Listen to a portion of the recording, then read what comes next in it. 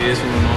Bueno, para mí como artista urbano y como artista desde niño que siempre me gustó todo, este tema como de la creatividad, este, ver las películas de Guillermo y lo que representa nuestro país es súper importante y se nos hace algo bien chido darle como un honor a él, un mural en su honor.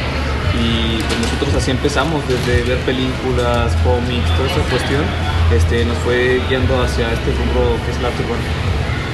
Contados, contados no los tengo, pero sí fácil, son más de 100, hemos hecho más de 100, pues sí, ya 13 años. Y si cuentas mínimo uno 10 por año, que es- hacemos más, pues sí, sí, hacemos muchos y este... mm, más- los que a mí más me gustan, pues ahora sí que son todos los de la- las caricaturas de la infancia. Hemos hecho el de Caballos del Zodiaco, el de Los Simpson, el de Coco. Más que nada porque la gente se identifica con ellos y para nosotros es súper importante que la gente tenga esa apertura para el arte. Y eso también mismo eh, lo creó Guillermo del Toro con sus películas que eran hasta un poquito parte de su creatividad y de su estilo y aún así se eh, abrió el panorama para los artistas en México.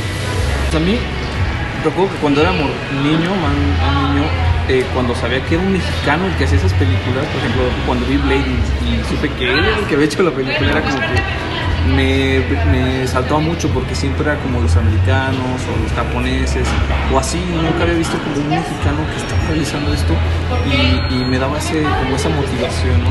Y su forma de ser de persona también se me hace súper importante. Este, creo que es una persona muy abierta, eh, da oportunidades a los demás artistas y eso se me hace súper.